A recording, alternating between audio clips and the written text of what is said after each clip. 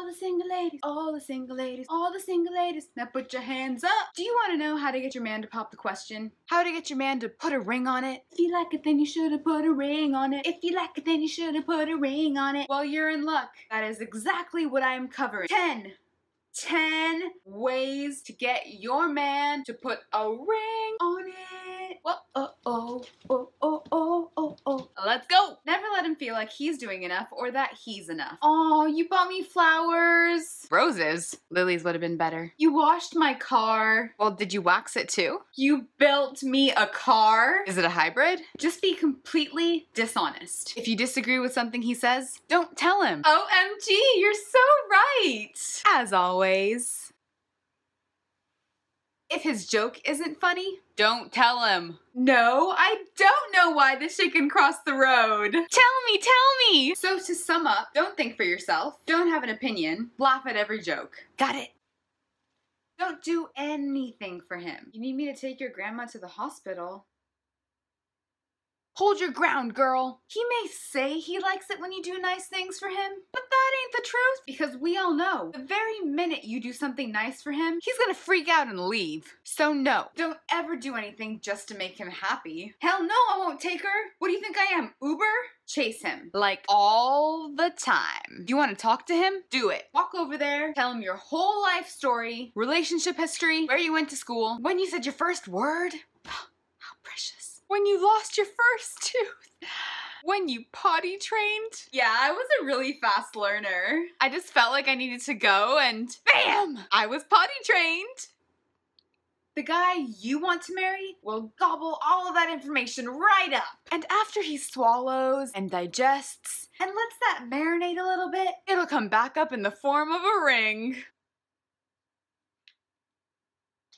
Be completely insecure. Always look for approval from him. How do I look, babe? Bust out those puppy dog eyes when you want a compliment. Hang on to his every complimentary word until you feel confident. You really think so, baby?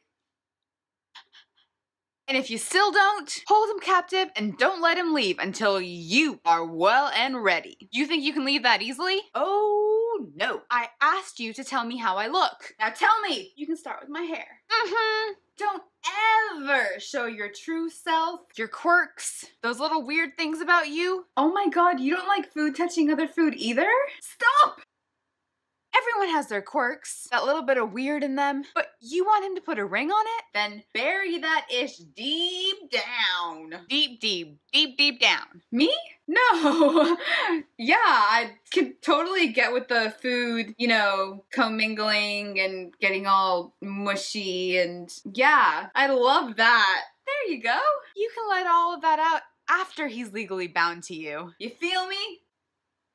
Don't be ambitious. You think he's going to fall in love with a feminist? Yeah, I think men and women should be treated equally. Equal pay, equal respect. a motivated, ambitious, go-getter kind of a girl? Hell no. A woman who is intelligent and determined, goal-oriented and driven?